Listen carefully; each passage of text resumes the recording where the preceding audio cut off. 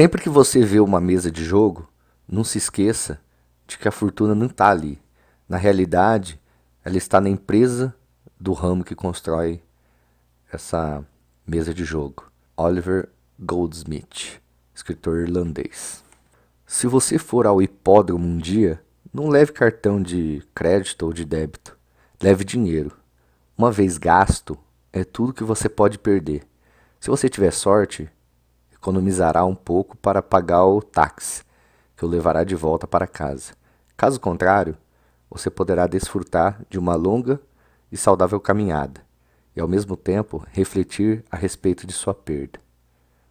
No trading, a dica é o seguinte: você, na hora que estiver perdendo, limita suas operações, limita suas perdas, tem um valor na cabeça, de acordo com o seu plano, aperta o botão stop, zera tudo termina o seu dia ou a sua operação do dia.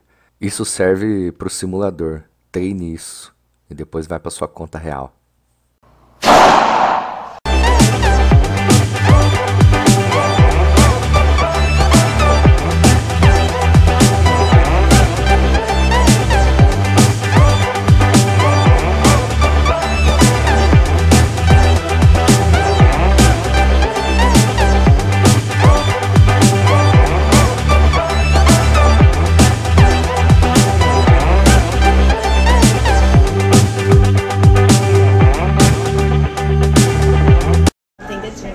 Dedinho, dedinho ainda tamo junto, ó. Curte e compartilha, olha lá.